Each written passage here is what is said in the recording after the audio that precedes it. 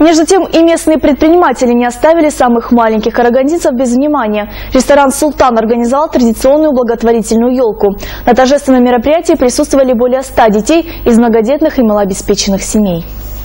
Новый год – самый долгожданный праздник детей уже на носу. Но не все дети встречают его одинаково. У некоторых просто нет возможности побывать на новогоднем представлении. Именно для таких маленьких карагандинцев ресторан «Султан» организовал благотворительную елку. На праздничное шоу с Дедом Морозом и Снегурочкой пригласили более 100 ребят из малообеспеченных многодетных семей и детей с особыми потребностями.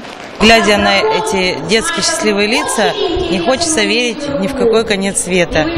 То есть, уважаемые взрослые, давайте будем для детей приносить радость. Дети – наше будущее.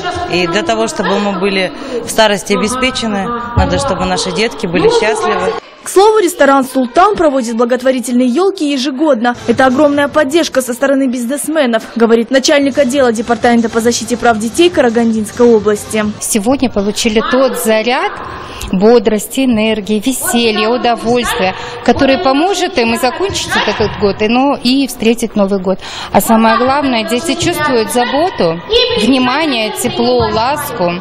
А, и Получая все это, наверняка дальше будут нести это в себе и дарить другим детям. Перед маленькими гостями праздника у новогодней елки развернулось сказочное представление с участием любимых и известных персонажей. По завершении праздника все дети получили подарки.